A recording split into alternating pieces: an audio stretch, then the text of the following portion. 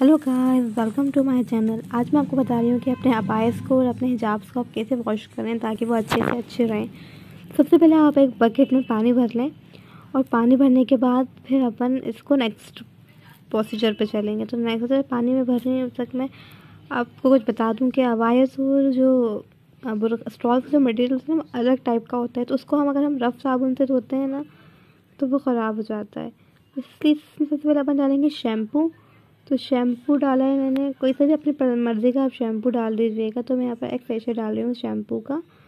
और शैम्पू के बाद मैं इसको अच्छे से मिक्स कर लूँगी, ताकि है ना शैम्पू अच्छे से मिक्स है शैम्पू हमारे हिजाब और ब्रुखे को सॉफ्टनेस को बरकरार रखता है। उस समय हार्श नहीं होता शैम्पू तो हमारे हिजाब और हमारे जो बुरखा होते हैं, जो अबायाज होते हैं, वो सही रहते हैं। तो इसलिए सबसे पहले मैंने इसको अच्छे से भिगो दिया है और पानी में अच्छे से इसको मिक्स कर लिया है। शैम्पू को मैं अच्छे से मिक्स कर रही हूँ ताकि फिर है ना, अच्छे से मिक्स हो जाए और मेरा वो सही रहे। तो यहाँ मेरा वो मिक्स हो गया है साबुन में पानी। इसको देख के आपको तो चक्कर आ रहे होंगे। तो इसको अब आप इसमें डालेंगे बुरखे। ये मैंने दो अबायाज हैं, ये निदा कपड़े के हैं तो मैंने इसमें सबसे पहले अबाया डाले हैं। तो आपने जस्ट अपने अकॉर्डिंग आप चाहें तो बुरखा और स्टॉल्स को अलग अलग धो सकते हैं या फिर आप एक साथ धो सकते हैं, अगर आप तो यहाँ मैंने बुरखा और स्टॉल्स को एक ही बकेट में डाल रही हूँ तो आप अपने सारे बुरखा और स्टॉल्स को इसके अंदर डालें अच्छे से।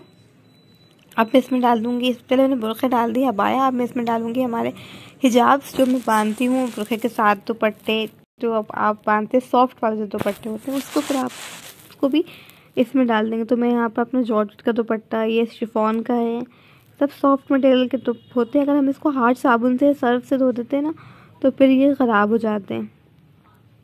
और तो इसलिए शैम्पू इसको सॉफ्ट रखेगा। तो इसमें आप सारे अपने जितने भी स्टॉल्स और वो हैं आपके पास, वो आप इसके अंदर डाल दें।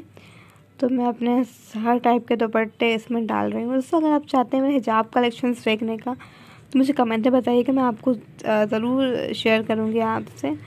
तो फिर ये मैंने डाल दिया है और ये ये ये भी इसका एक बहुत अच्छा स्टफ़ है। तो सब डिफरेंट स्टफ़ के मटेरियल्स हैं। जितने भी स्टफ़्स के आपके पास मटेरियल्स हो तो आप इसमें डाल दीजिएगा। और है ना, इसको अच्छे से मिक्स कर लें। सोक कर लें मिक्स करना बोल रही हूँ हर कुछ बोल दें।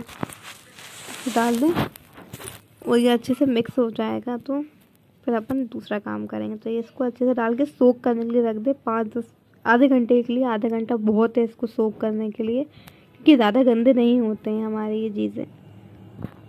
तो क्या मैंने बकेट में और पानी ले लिया, उसके अंदर मैं डाली हूँ कंफर्ट उससे तीन रुपये का पाउच आता है कंफर्ट फैब्रिक कंडीशनर होता है फैब्रिक का। और मैं कंफर्ट से बहुत अच्छी स्मेल आती है, बहुत ही अच्छी।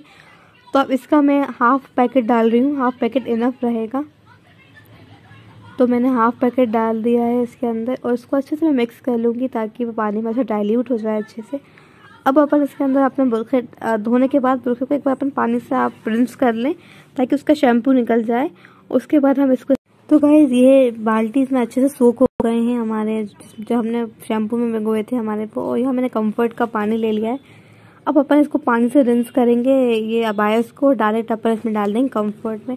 पानी इसलिए रिंस करें ताकि इसका शैम्पू और सर्फ शैम्पू निकल जाए और अब मैं इसको कम पानी से रिंस कर लिया है मैंने, अब इसको कंफर्ट में भिगो दूँगी। तो उससे कंफर्ट से हमारे, डालने से कपड़े में अच्छी स्मेल भी आएगी और पे हमारे कपड़े सॉफ्ट और शाइनी रहेंगे। शाइनी भी रहेंगे। तो है ना, इसलिए इसको अच्छे से डाल के और इस कंफर्ट में डाल के अब इसको आधा घंटा रख दें ताकि हमारे कपड़े अच्छे से सॉफ्ट हो सके, क्योंकि कंडीशनर होता है। अगर अपने बालों में कंडीशनर लगाते हैं तो भी हम उसके लिए दस, पाँच मिनट, पाँच छः मिनट रखते हैं। तो इसलिए ऐसे ही हमारे कपड़ों के लिए कंडीशनर है। तो इसलिए आधे घंटे के लिए आप इसमें डाल। डालें दोस्तों, ये बिल्कुल स्पॉन्सर वीडियो नहीं है, क्योंकि ये तो मैंने खुद मैं ये मेथड यूज़ करती हूँ तो मैं सोचा आपसे भी शेयर कर दूँ।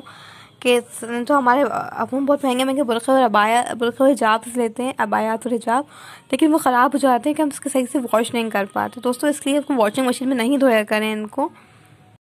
दोस्तों, अब मैंने इसको अच्छे से आधे घंटे बाद में इसको छत पे आ गई हूँ, उसको डाल दिया, डाल रही हूँ मैं। दोस्तों एक और टिप मैं आपसे यहाँ शेयर करना चाहूँगी। अपने कपड़ों को जितना हो सके धूप में ही सुखाया करें। अगर आपके घर में धूप आती है सनलाइट आती है तो फिर आपने कपड़ों को सनलाइट में छुपा, सुखाया करें। अगर आपके नहीं आती है तो फिर वो बात ही अलग है कि सनलाइट में कपड़े सुखाने से हमारे कपड़ों से जो बैक्टीरिया लग जाते हैं, वो सनलाइट से किल हो जाते हैं दोस्तों। तो इसलिए आप हो सके तो आपने कपड़े छत पे सुखाया करें या सनलाइट में सुखाया करें, अपनी गैलरी में या अपनी खिड़की में जहाँ आपको सहूलियत हो। तो यहाँ मैंने अपने कपड़े डाल दिए कपड़े में बहुत अच्छी स्मेल आ रही है और कपड़े खिले खिले लग रहे हैं। तो यहाँ मैं अपने कपड़े डाल रही हूँ। दोस्तों, मैं एक हाथ से मोबाइल पकड़ूँ, इसलिए वीडियो शेयर हो रही इसके लिए सॉरी तो ये सारे कपड़े आप धूप में डाल दें। दोस्तों, ये देखिए, मैं सारे कपड़े डाल दिए हैं और ये देखिए, सब, और सब में स्मेल इतनी प्यारी आ रही है और सब में स्मेल बहुत अच्छी आ रही है। तो दोस्तों, इसको आप जब सूख जाएँ तो आप से उतार लें। तो दोस्तों, ये मेरा आज का तरीका था कि आप, मैं कैसे अपने हिजाब और उसको वॉश वॉश आउट करती हूँ। आप भी इसी वे से वॉश करेंगे तो आपके आपके ये हिजाब सोर पर नए के नए रहेंगे, ख़राब नहीं होंगे और आपके बहुत ही अच्छी स्मेल भी आएगी आपके पास से। और तो दोस्तों, ये वीडियो अच्छा लगे तो लाइक करिएगा मैं सब्सक्राइब करिएगा। मिलते हैं नेक्स्ट वीडियो दिन बाय